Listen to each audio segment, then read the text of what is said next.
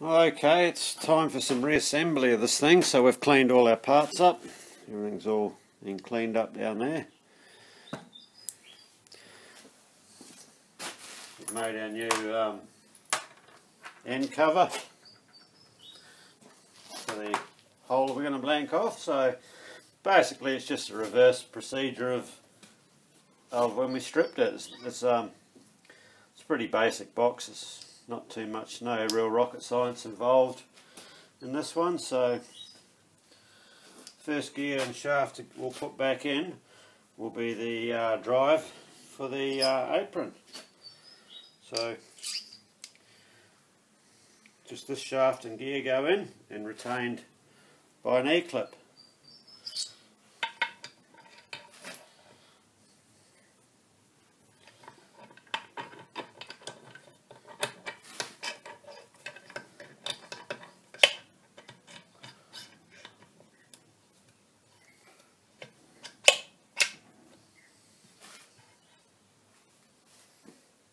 Now, just with these um, E-clips and circlips, pays to take note. Generally, on, on most of them, one side of the E-clip or circlip has a radius on it, and the other side is dead flat. Now, when that goes on a shaft, I'll pull this one back out again.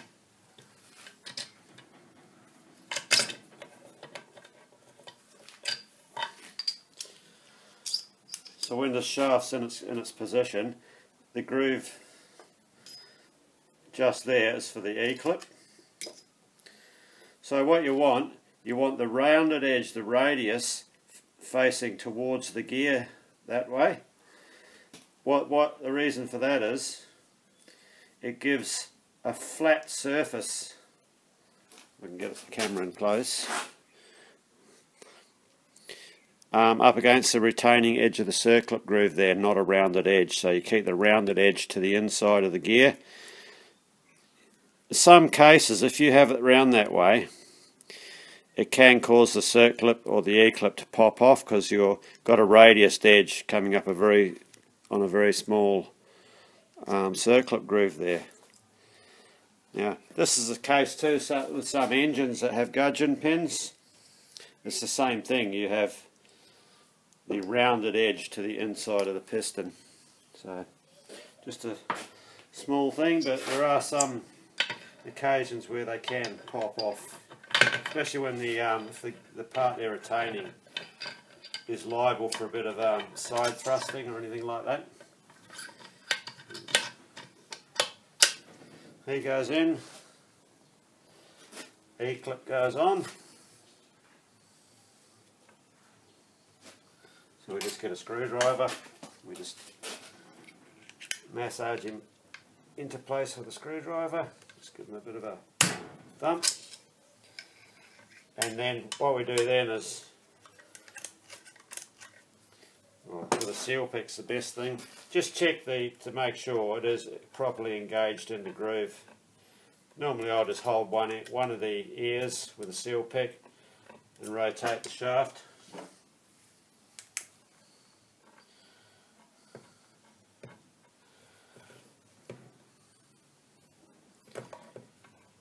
And double check them because it pays pays to otherwise it might pop off. You've got to pull the whole thing apart again. So okay that's that one in. Next one to go is the um, this one here. This is the drive to the rack. So this is the output gear of the apron. So that was in there now we've got a yeah, gear. Got a gear that goes on here. Slips in there.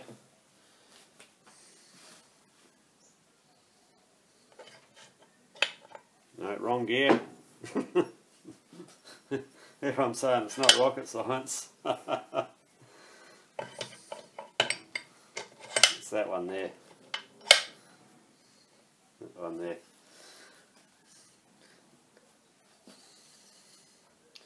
Okay, so that one had a circlip.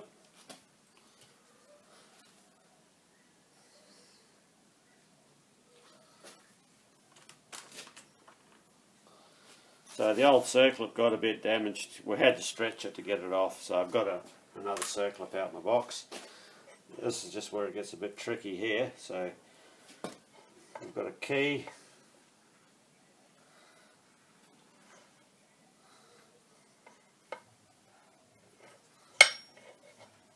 So we're going to have to start the up on the end of the shaft.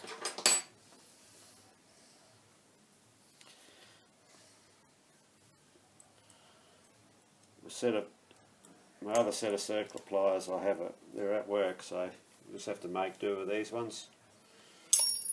Ping goes down the bottom of the box. Where else would it go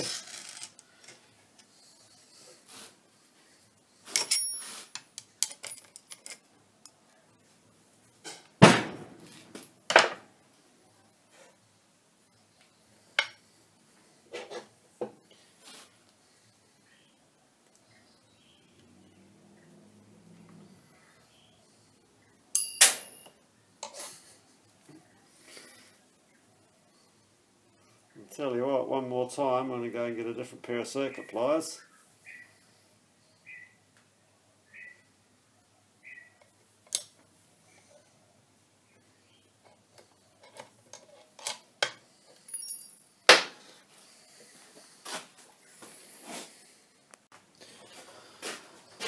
Okay, I've found me other pair of circlip pliers. They're not the best, but hopefully they're going to be better than the other ones.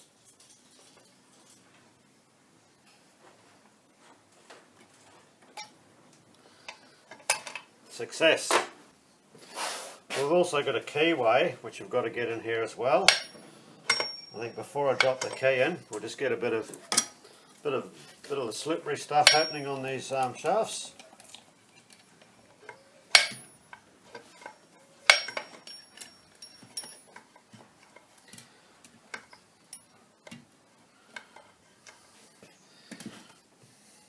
Okay, so our keyway goes in.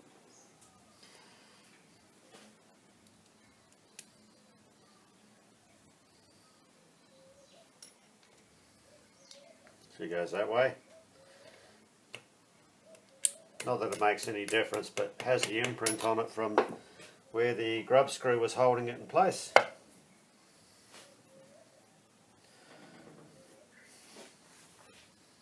Now our circlip, we have to slide that along the shaft and get that into position.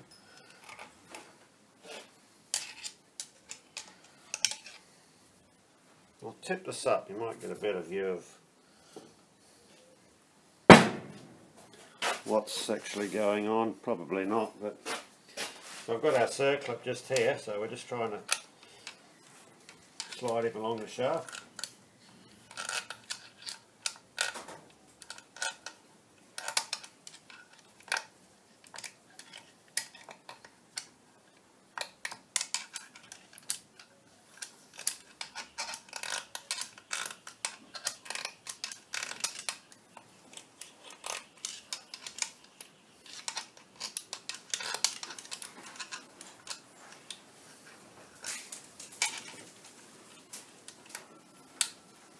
There we go, click. And just to verify it is in the groove properly, same thing again, I just hooked the seal pick and I should be able to very easily stop the clip from rotating. And she's definitely in its groove. So we have our grub screw, our locking grub screw to go into the gear. So that would be, find the grub screw.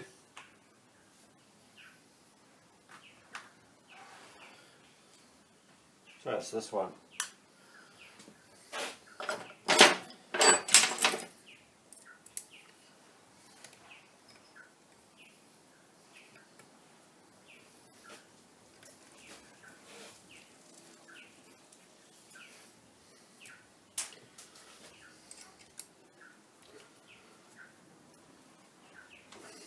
Just good nips all it needs.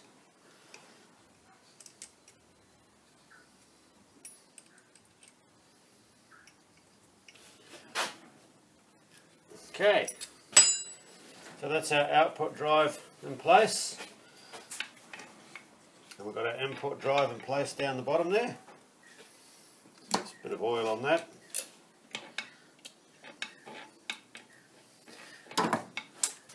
Okay, so the next one to go in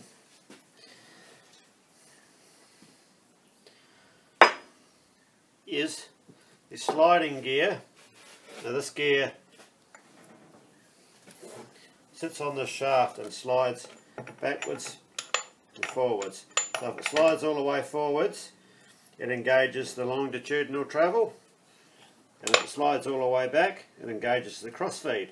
And in the middle, it's detented into, well, there's a neutral position. A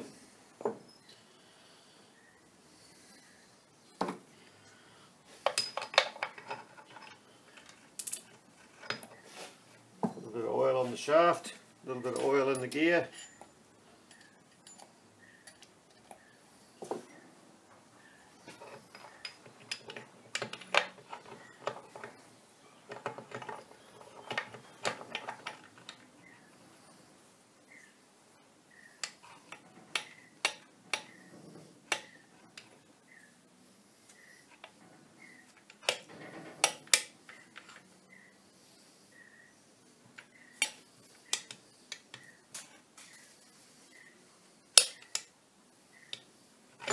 Oh.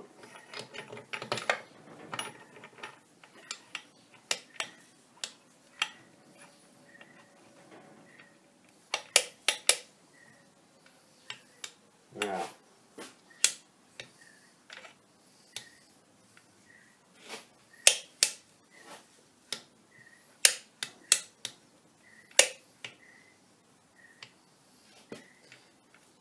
Uh, before that goes in, it goes over there. It's just a, um, a lockout collar for when you're screw cutting. That's actually got to locate into this gear. What that does, it stops when this is engaged in the longitudinal travel. This gear locks out the capability to engage in your screw cutting.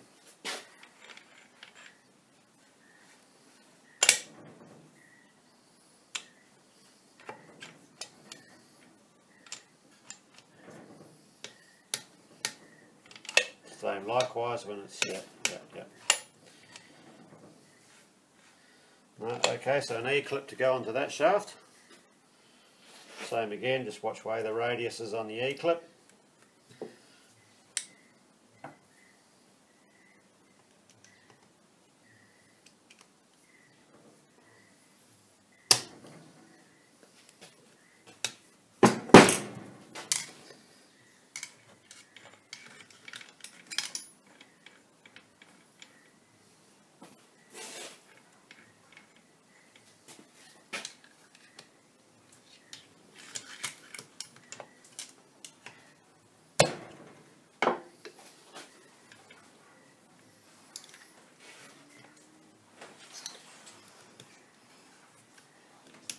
Just check to make sure it's in its slot. So we have a spring and a ball detent.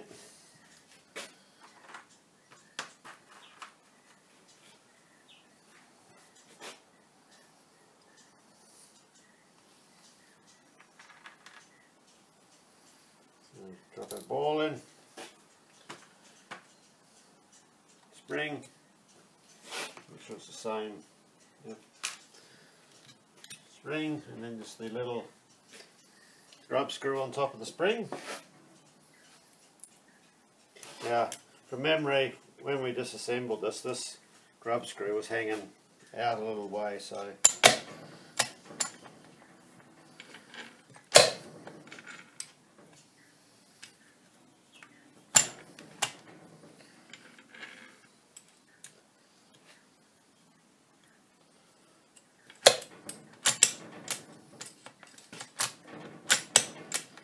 So it holds the detents here where this ball is, holds the uh, gear in position. So you've got neutral, crossfeed, back to neutral, and longitudinal feed.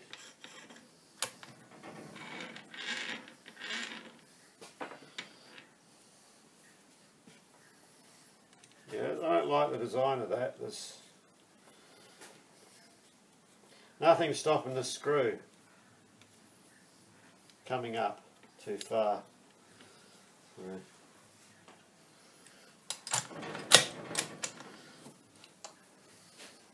Okay, so the next thing to get assembled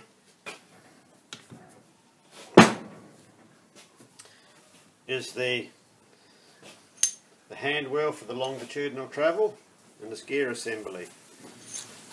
So this had an O-ring, this is a little O-ring um, groove inside this housing which stops the oil coming out from the end of the shaft. So I found another O-ring in the O-ring box. So slip him in.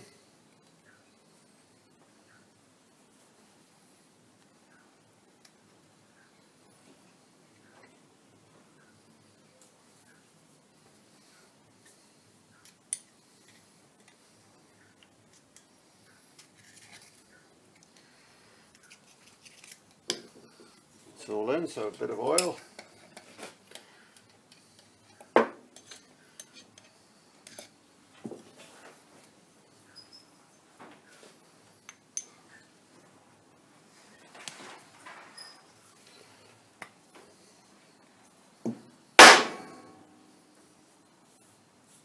That's it, she's in.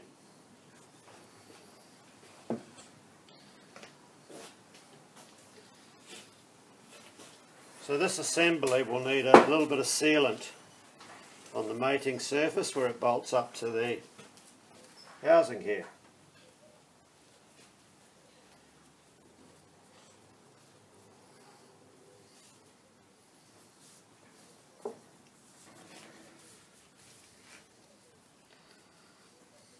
So we'll just give it a bit of a bit of a clean off. Well, it was clean, but a little bit of oil on it since we've been playing with it just then.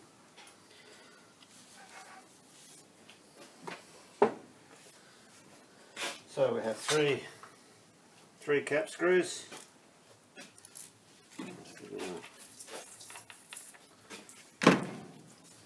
Clean off. So I just want to put a little smear of sealant on that.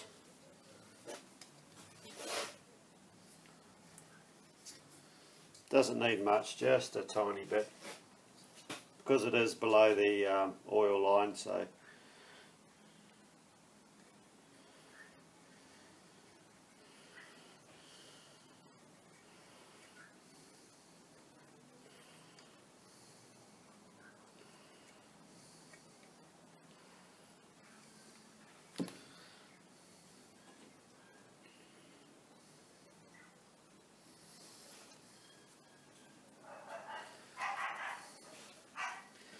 all that needs, as long as your holes are covered, and a little bead around the inside. So, and we make sure our mark for our that reads on the scale um, on the hand wheel. Remember we've got this graduated scale, so we want that mark to the top, which is just there.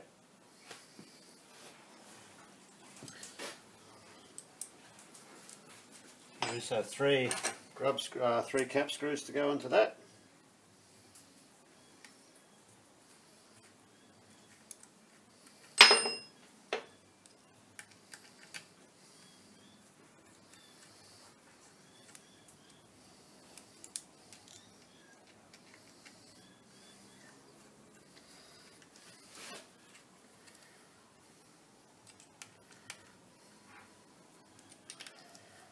Nip him up, just give it a feel.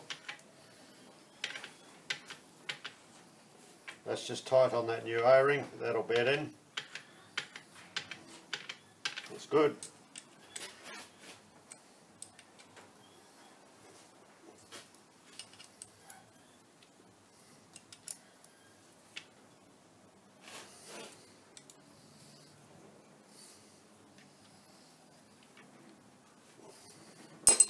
Okay. bit of excess elastic there, we'll just wipe him off.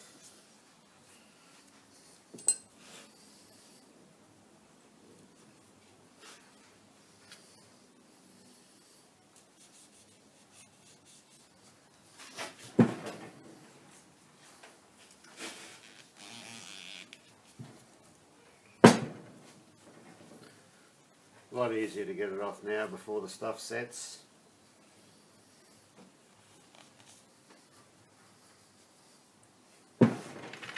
Okay, so our handle wheel can go back on now. It's just a matter of lining up the roll pin.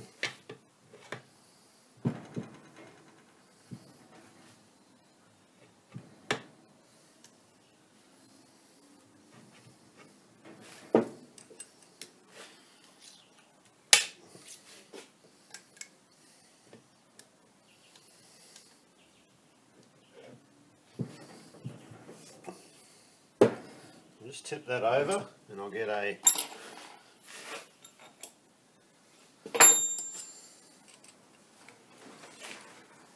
I've just got an Allen key up the up the bore of the shaft just so we're to help with the alignment.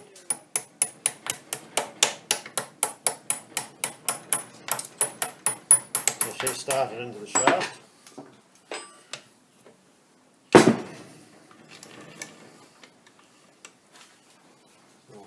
that home.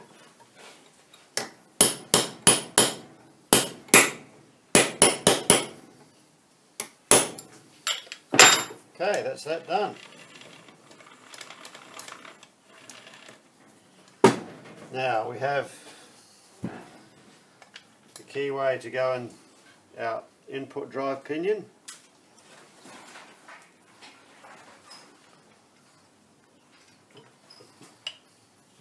Sure that's seated.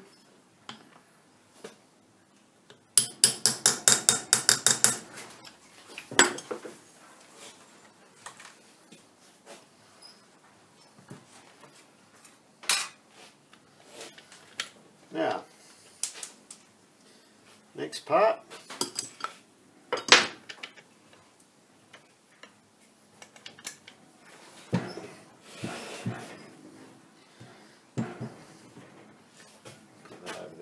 see it,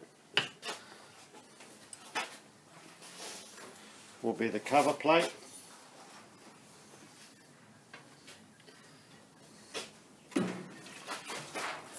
Just give that a clean off with some brake cleaner.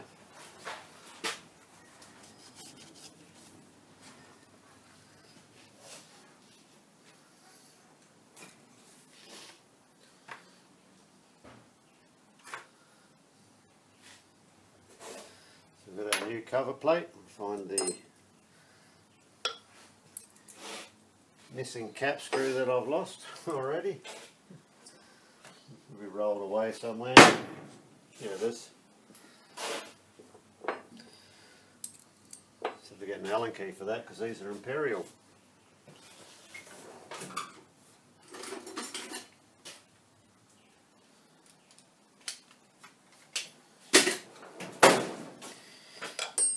Okay, so with this cover plate, we'll require just a very small smear of sealant on the rear of it,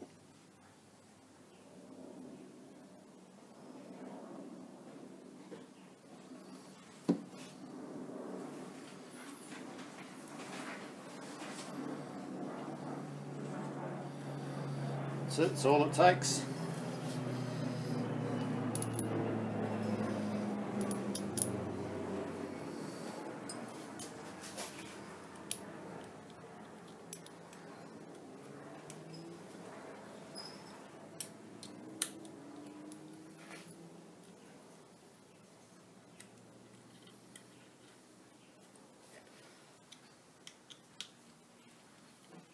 So this will stop any oil wanting to ooze out the front of that shaft.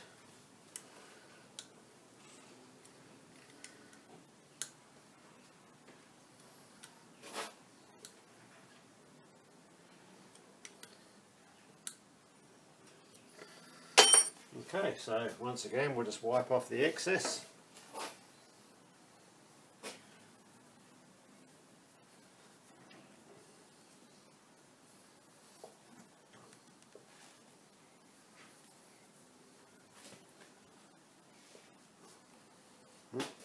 heading away probably.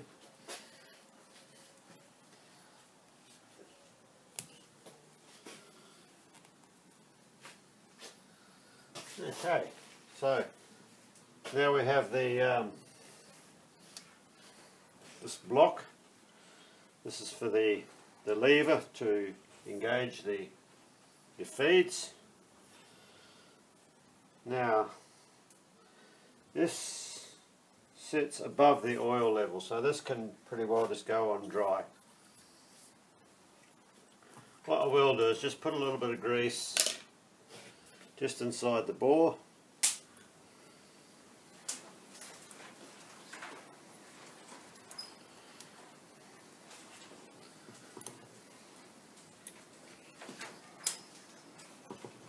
and also inside the bore where it's the cross shaft goes.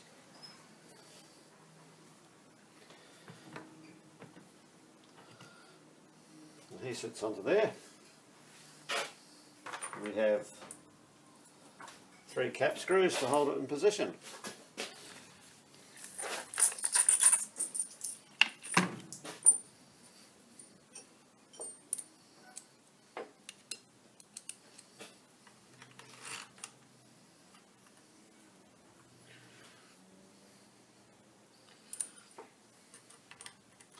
Just make sure I can get this in. No, we've got to assemble this gear first. That's okay. We'll just rotate it round.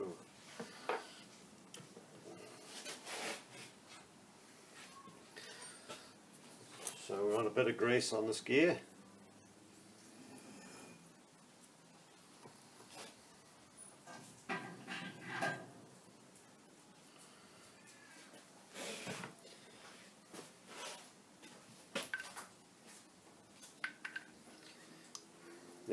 Bolt which goes in underneath and that goes into a slot into here which pretty well locates the only position where the lever, it, it dictates where, where the lever can go. So.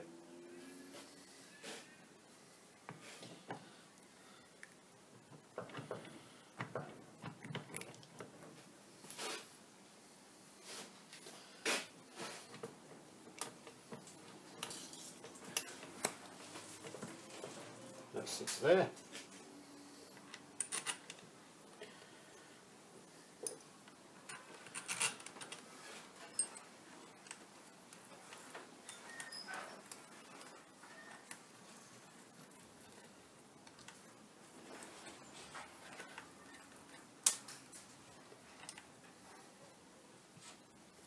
So just centralise it, just helps everything sit in square.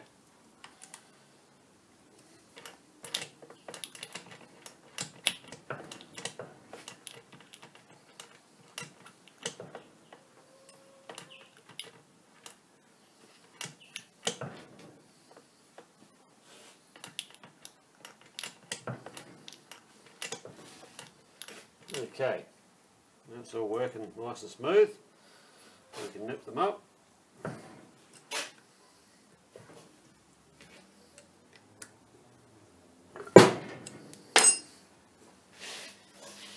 Now this this detent bolt that we were talking about,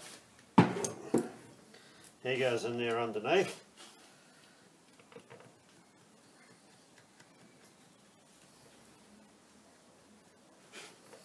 Just got to find the position for him to go into.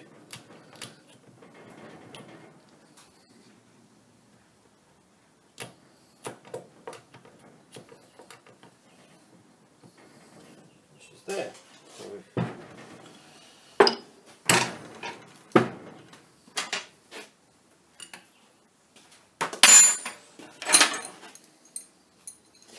Well, I used to have a be able to fit a ring spanner on there before I put that plate there, so we'll just give it a bit of a nip up with a shifter.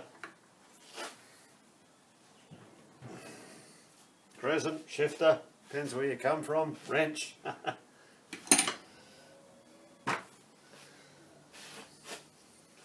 wipe off a bit of excess grease there.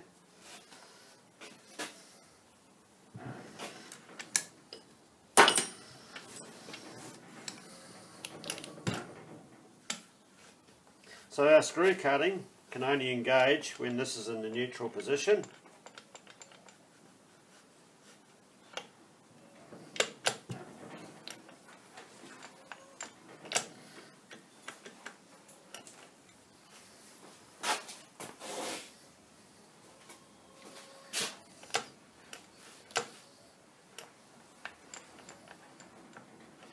So I think we're a tooth out on this gear.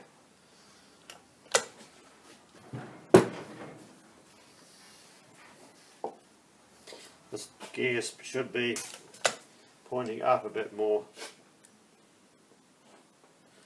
So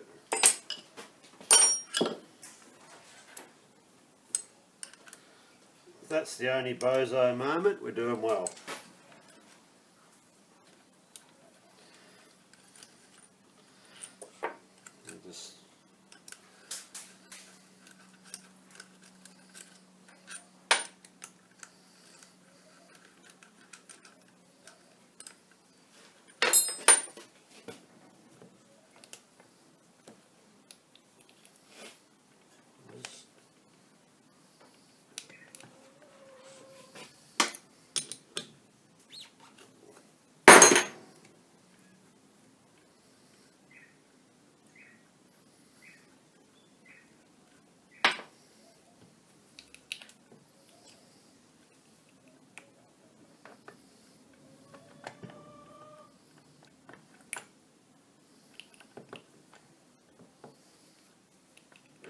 Come round another tooth. That's possibly better there. I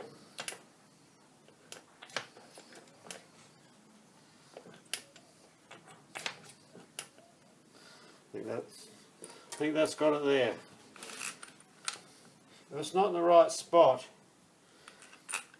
the lockout, there's an interlock type mechanism inside which one we were talking about before which blocks out the ability to engage screw cutting while you're engaged in a feed.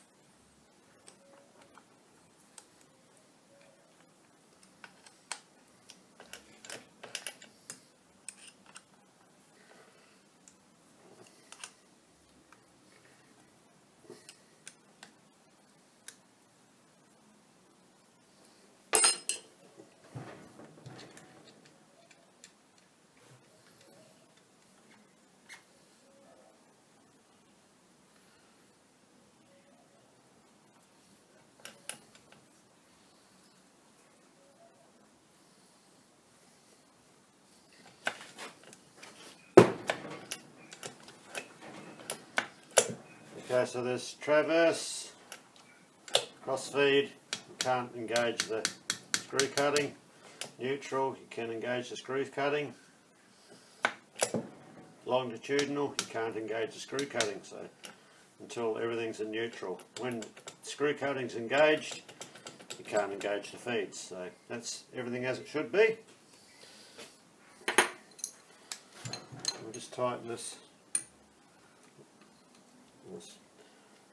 little bolt up underneath there that detents that shaft.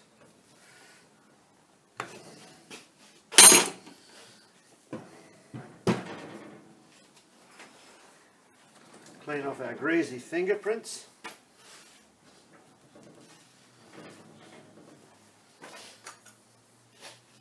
Okay, we just have this little ID plate out on the front.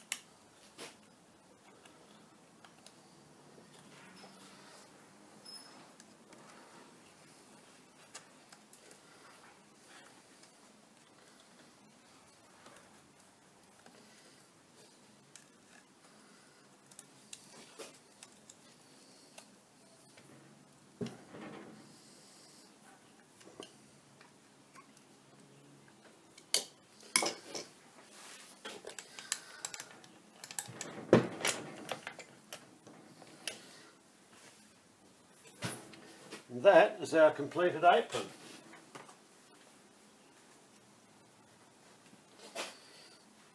Oh, we got the threading dial. Remember we swapped sides? So our threading dial now sits on this side.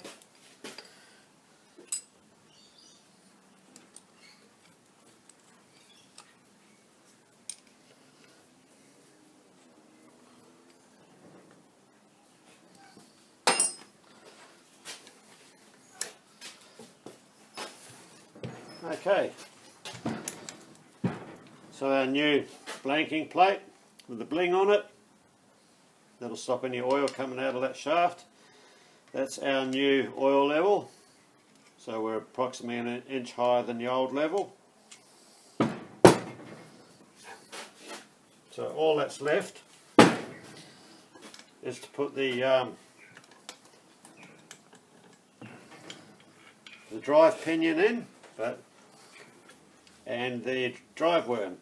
Now I've got to make a drawing of those before I put them back in because if I want to make a spare now's the time to get all the dimensions for it as there is a bit of wear on the drive pinion so all good and we'll see you at the lathe when we fit this back up. Thanks for watching.